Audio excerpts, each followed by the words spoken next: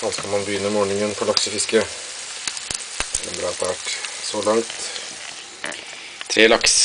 Seks, tolv og fire kilo. I dag fjerde dagen. Det blir gøy. Har litt stillere dag i dag. Det har vært den første dagen uten napp.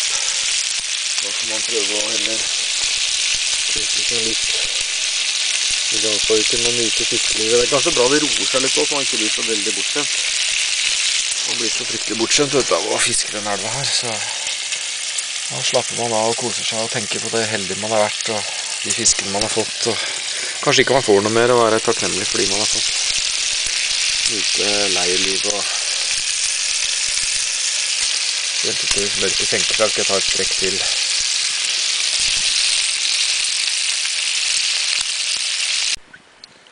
Koselig å koke chai i nattemørket når man fisker sjøørret. Det har blitt stappmørkt ute, da. Går sikkert ikke an å se noen ting ute i mørket. Nå skal jeg ut og kaste siste legget et par timer i natt. Da har den endelig bit igjen. Endelig. Det tok tid, altså. Nå har det gått en og en halv dag. Masse kasting, og så Han tok så brått. Han tok så brått og brutalt, han er nok ikke så svær, for han var så Han fløy på. Så det var så deilig å kjenne det aggressive bittet igjen. Endelig, altså. Nå har han oppi en ganske stri strøm der, så jeg vet ikke om det var det som gjorde at han tok så brått. Åh, det er så deilig følelse. Det er sjelden han tar oppe her også. Det er mulig for at nå er det lite folk har fiske her oppe, kanskje. Som regel så tar han eh, Som regel så tar han mye lenger ned i elva. Så det var litt gøy å prøve noe annet og så få han til å ta. Oi, oi, Den er ikke så svær, men det er så gøy å kjenne nappet. Jeg skal bare backe den litt oppover her, og så Så om jeg kanskje tar den inn i, i kulpen på grunna, grunna der nede. Her er det strøm hele veien og litt dypt langs land, så Så så jeg tenker meg at jeg skal ta og prøve å ta den inn der nede, der nede, 100 meter der nede.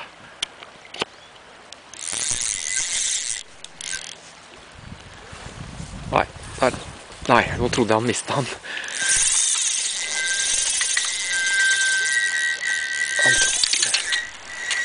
Ja, Ja, kanskje han er større enn jeg har trodd. Akkurat, ja. Akkurat. Der dro han jo faktisk ut hele hele skyttersnøret.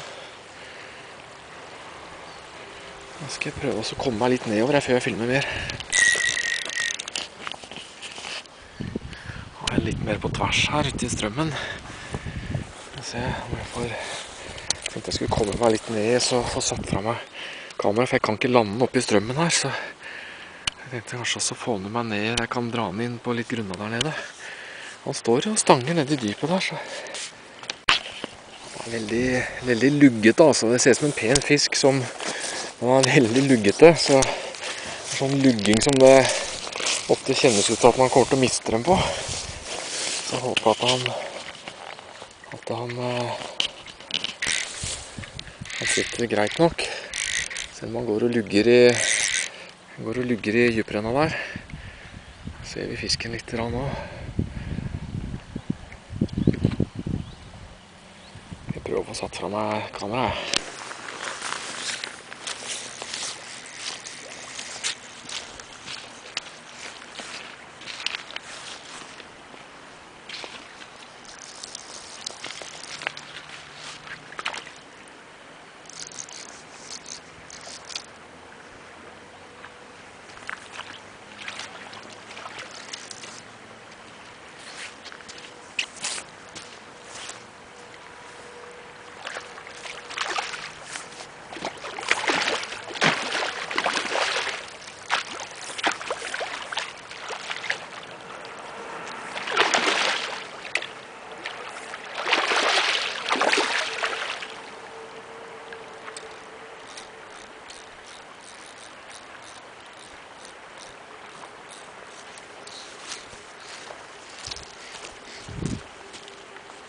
Prøve å få noen foran her. Så.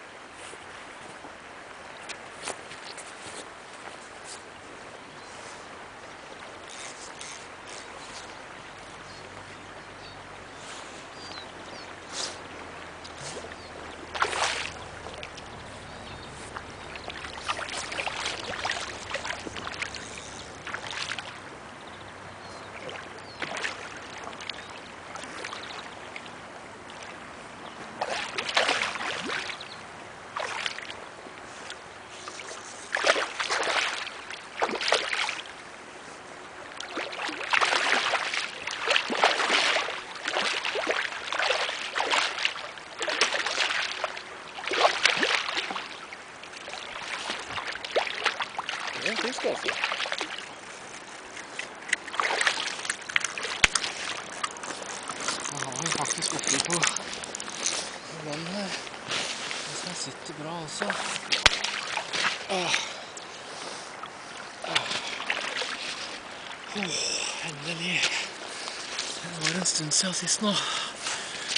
Åh, så fin laks, altså. Vi prøver å få den ut uskada. Det skal ikke være greit. Den er faktisk ganske nygått. Ganske nygått også. Åh.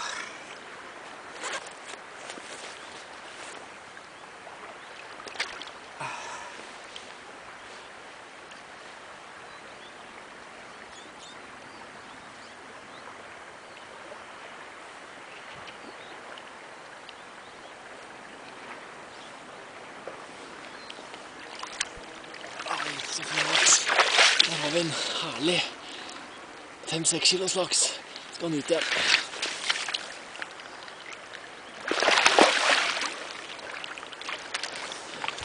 Yes, altså. Det var deilig å kjenne, kjenne bittet igjen.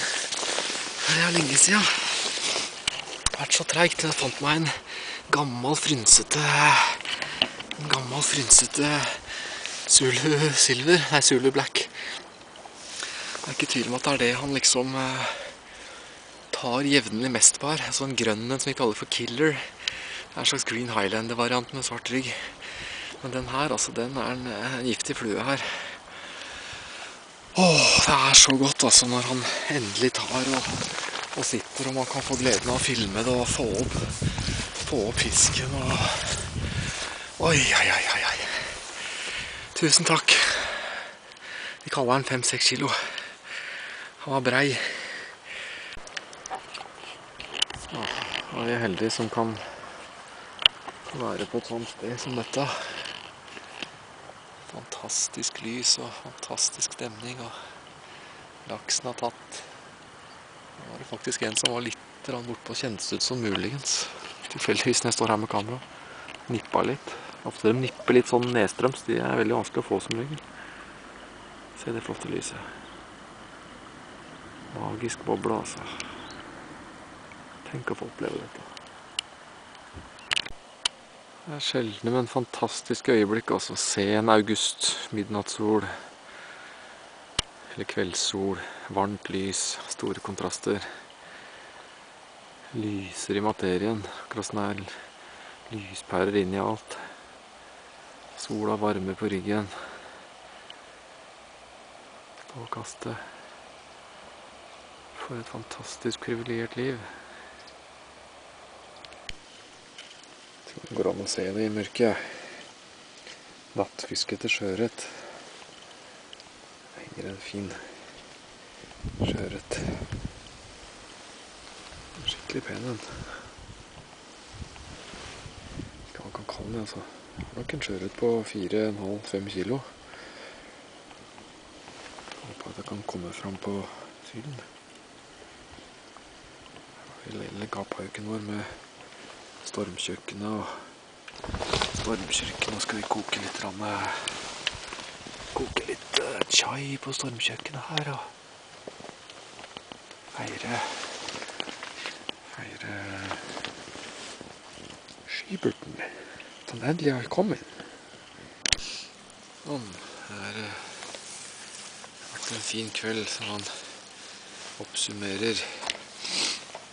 Det ble litt feil fluevalg for min del, så det har vært flere ute og fiska som har hatt bra lykke på sjøørreten.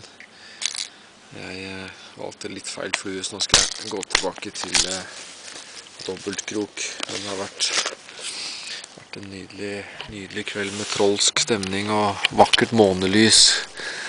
Tåka henger litt nedi dala ennå.